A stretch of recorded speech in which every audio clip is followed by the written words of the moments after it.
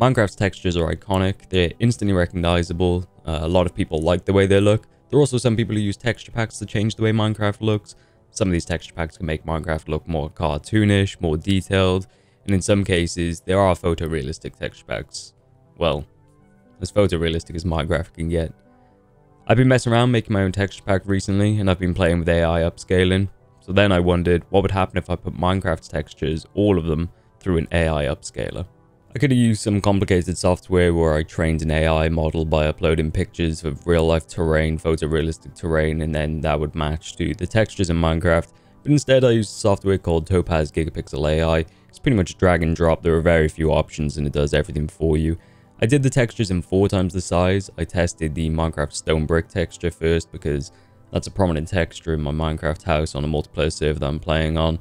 So I applied it to the Minecraft texture pack that I'm using for this ran it through the AI, reloaded the textures, quickly realized I'm going to have a naming issue because everything is going to end in one. So I thought I'll figure that out later. I'll just rename the one texture manually just to see how it looks first. And when I loaded into Minecraft, it looked it looked interesting. It looked like a lot of the AI upscaled images that I had seen, but I was still curious to see what the whole texture pack would look like changed so I thought I'd do a bit more testing with more textures. I did some quick research on a mass file renamer to get rid of the 1 at the end of all the textures. I found a few ways to do it. One of the ways was to use a command file or a bat file, but then I would have to change the directory for each one of Minecraft's textures, and I know some of them are in folders for each texture. So I decided to just drag all nearly 700 textures into AI Upscaler, and then I'll figure it all out later. So I gathered all the PNG files of the same type, dragged it into AI Upscaler, wasn't quite sure how we would handle it, handled it really well. They're only small images, so I thought it would be okay. Made sure they were all on 4 times and started batch processing. I made sure they were all the same file name, made sure they saved to the source folder of where they came from, and then I just sat back and waited for them all to complete. About a hundred or so images in, I wanted to see how my PC was handling this, so I opened up Task Manager and my GPU software. Uh, Windows or the software didn't actually like that because then it all just crashed. So I thought, I'll close Minecraft, I won't be checking the temperatures. The GPU was maxed out, it wasn't really using much else. So I decided to put all the textures back in, but this time I decided to create a to-do folder where I put all the original textures, then I would export the upscale textures into the original folder they were meant to be in. So then I didn't have to rename anything. So that solved that problem for this part. It didn't take Topaz AI long to go through all these images. They're only Minecraft block images 16 by 16. Most of them are only going to 64 by 64, depending on the actual block. And once they're all done, I went into Explorer. I just wanted a little preview of how everything looked. I realized it was only the, just the blocks that I'd done, so not everything would be completely different. I just wanted to see how my base looked with these new AI upscaled images. So I logged into the server, and here's what I saw. Not all that indifferent to some texture packs that I have seen. Obviously, there is a an AI upscaled look to them. I would ex I expected more to look like those Google uh, upscaled images, more like Eldritch Horror, like where they've taken images from everywhere else. But like I said, I didn't train this model. Uh, I just put them through the upscaler. Want to have a look how everything looked in the day.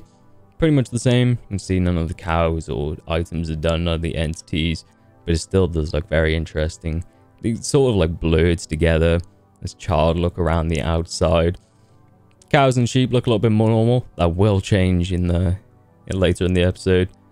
But for now, nothing really looks too different, especially from a distance. The, the grass was already quite like pixelated anyway. So I looked at my mine. Stone looks weird. Stone looks like it's like an acid trip. It's uh, it's real strange. I wanted to have a look how deeper in the, the caves looked. I wanted to see what bedrock looked like. And we'll see how I handle dark textures. You'll be able to see with some of the mobs later on that it doesn't really upscale darker images all that well. It tends to just merge everything together. And I've got shaders on as well, so things do look a little bit different. The next textures I decided to upgrade were all the entity textures, but they're in a separate folder for each one of the PNG images, so I couldn't just drag them in and drag them into their own folder. It would have just taken forever. There are nearly 400 of them. So I found out I actually do have a software on my computer called Power Rename, which, were, uh, which I was using for a previous project. So what I did was grab all the PNG images within the entity folder, decided to drag them into Gigapixel AI, then I would just delete all the original images because I kept them selected throughout the process. And then I would just take away the one on the new images. After the entities, without even checking, I just went straight in and just did all the GUI textures. I wasn't even sure if all of them could be done, so I left out the Minecraft logo, the, Mo uh, the Mojang logo, and the default server icon. I waited for all of these to be done, and then I went to Minecraft to check how the textures look. I was pretty excited to see how the animals would turn out. I just wanted to know if their faces would look good or if they'd actually look more realistic. So once all these were done, I decided to go back into Minecraft and have a look.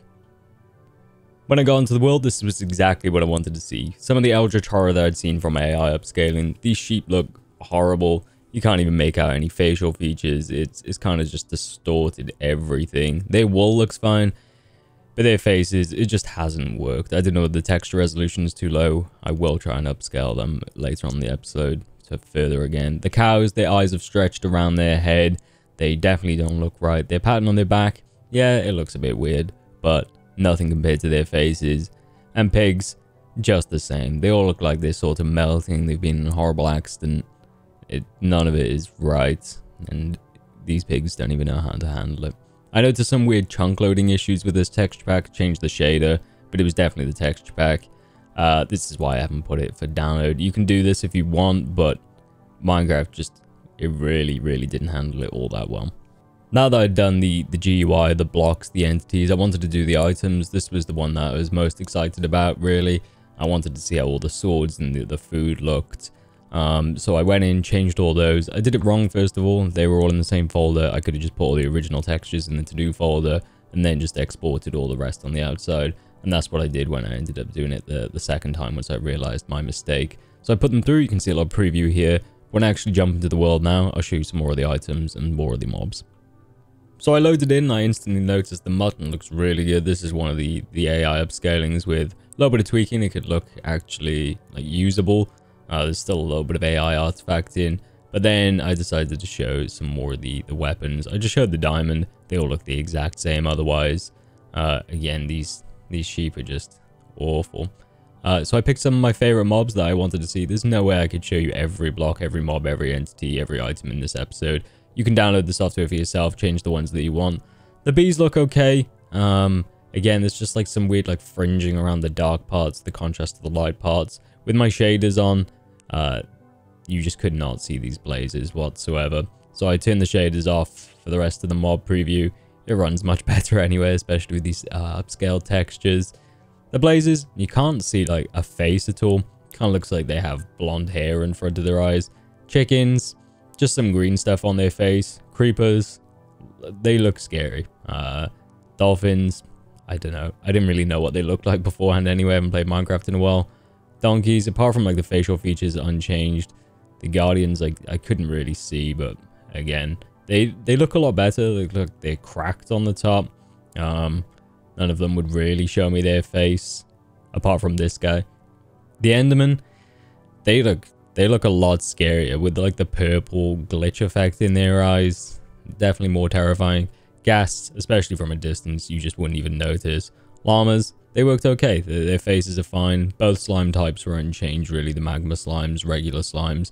Pandas, again, just a bit more noise. And skeletons, they kind of look happy. Uh, that slime, completely unchanged almost.